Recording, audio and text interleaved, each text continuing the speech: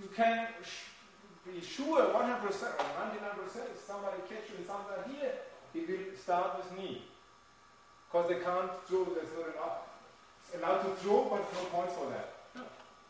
So why do you have to throw you?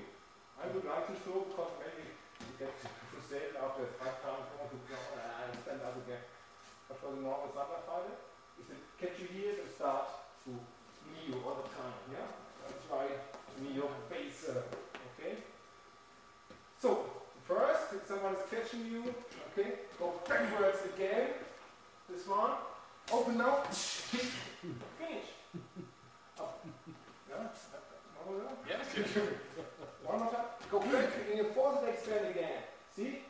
From here and punch. Now open. Okay. Okay. Let's try. Okay. Just uh, normally some catch. Need it backwards. See? Now with this is danger. That's why if you go backwards, take this one. Okay, from here, open,